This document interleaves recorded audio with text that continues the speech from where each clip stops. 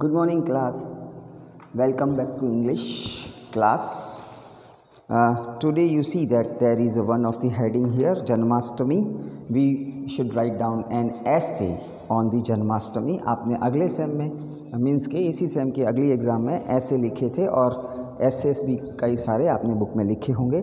तो ये जन्माष्टमी का ऐसे हम यहाँ पर आज लिखने वाले हैं।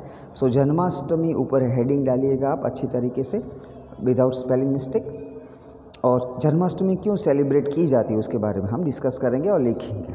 So the Janmashtami the birthday of Lord Krishna is celebrated with great devotion and enthusiasm in India in the month of July और August according to English calendar जुलाई अगस्त में जनरली ये जन्माष्टमी आती है और हर साल हम उसे सेलिब्रेट करते हैं।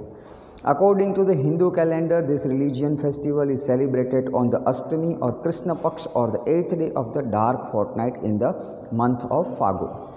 जैसे हम यहाँ हमारे यहाँ श्रावण महीना श्रावण महीना चल रहा है अभी तो उसकी कृष्ण पक्ष की अष्टमी को उस दिन को सेलिब्रेट किया जाता है in the second paragraph I have to write here Shri Krishna is considered as the one of the most powerful human incarnations of the Lord Vishnu. Incarnations mean by उनके अवतार थे विष्णु के और most powerful person in the world और human in the world. He was born around 5200 years ago in Mathura उनका जन्म स्थल है मथुरा वो मथुरा में बावन साल पहले यूज़ हुए थे। जन्म हुआ था उनका। मतलब कि 5200 साल पहले वो जन्मे थे। The sole objective of Sri Krishna birth was to free the earth from the evilness of demons demons means राक्षस और एविनेस मीन्स उनकी शुद्धता करना। He played an important role in Mahabharata and propagated the theory of bhakti and good karma which are narrated deeply in the Bhagavad Gita उन्होंने महाभारत में बहुत ही अच्छा role play किया था। दैट मीन महाभारत में उन्होंने अर्जुन के साथ रहकर युद्ध लड़ा था और वो युद्ध में पांडवों की जीत हुई थी।